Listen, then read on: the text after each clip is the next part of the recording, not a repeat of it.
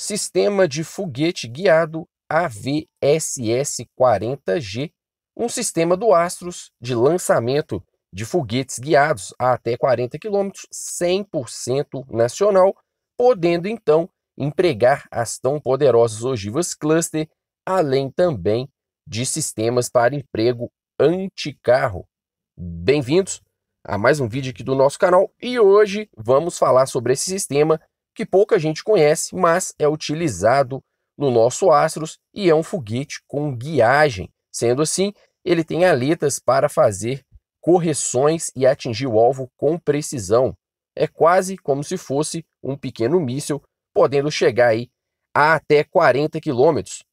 O AVSS-40G ele faz parte da família dos foguetes de lançamento de saturação do Astros, mas esse G aí, no final do AVSS-40, ele é uma evolução então do sistema. O antigo, ele era um sistema que faria uma dispersão diária, mas não era guiado, não tinha precisão. Já o novo sistema, o AVSS-40G, possui uma precisão, possui uma guiagem com o próprio sistema do Astros. Ele pode chegar a 33 quilômetros no nível do mar, mas acima disso, acima dos 1.500 metros, ele pode chegar a 40 quilômetros, tendo emprego entre 16 e 36 quilômetros, com efetividade de antipessoal com 20 submunições de 70 milímetros do tipo cluster, ou mesmo emprego de munições mistas, 20 submunições de 70 milímetros, anticarro e também antipessoal.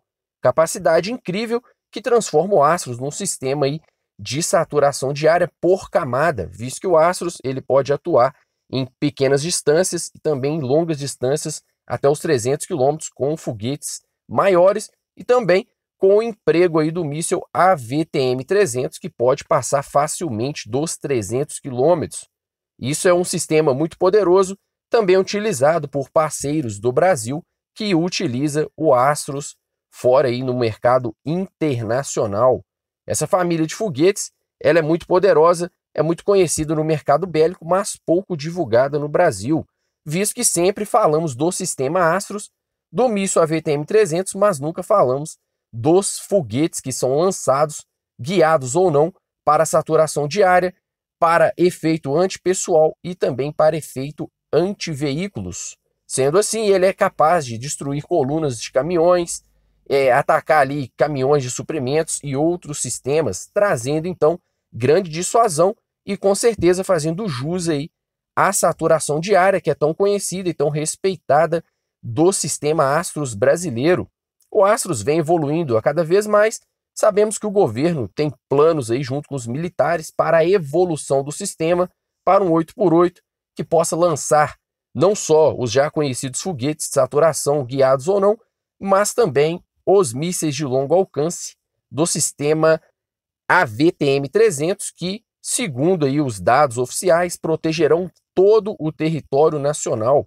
Agora é esperar as evoluções, mas sabemos que evoluindo, evoluído ou não, o Astros já é muito poderoso, já é um sistema é, homologado no Brasil há anos, funciona em vários países e tem vários materiais de emprego muito interessantes e também muito tecnológicos.